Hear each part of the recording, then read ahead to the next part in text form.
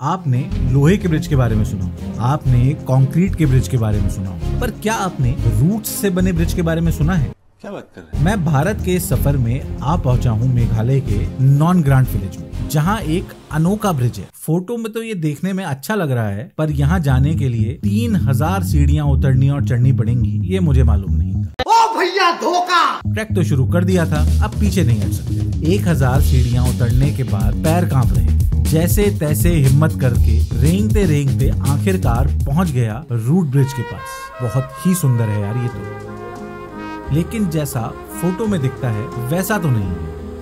तो लोगों से पूछने पर पता चला, वो ब्रिज तो अभी आगे है। अभी आधा रास्ता ही आया है। हे राम, और चलना है अभी। मरी जाऊँगा, भगवान बचा फाइनली कई पुल पार करने के बाद जंगलों से निकलते हुए मैं पहुँच जाता हूँ डबल डेकर रूट ब्रिज कितना सुंदर है यार ये। इसके लिए इतनी मेहनत वर्थ है।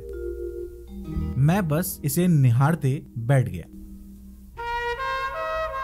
यकीन नहीं हो रहा था कि पाँच महीने पहले जब मैं घर से निकला था तो प्रकृति की बनाई ऐसी बेहतरीन चीज़ों को भी देख पाऊँगा सच में मेघालय अद्भुत है।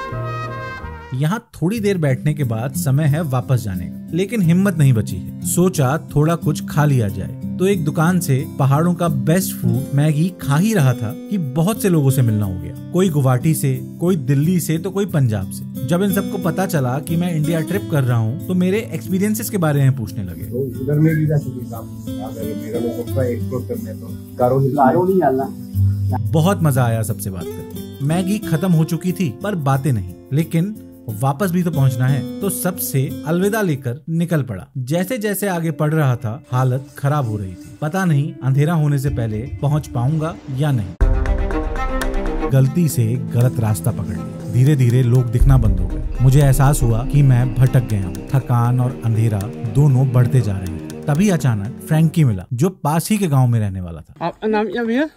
नाम? फ्रैंकी। फ्रैंकी।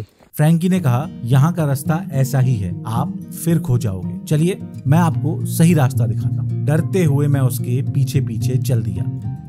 आखिरकार सही रास्ते पर पहुँच तो गया लेकिन मेरा होम स्टे अभी भी एक किलोमीटर दूर था। साला ये दुख का खत्म नहीं होता बे?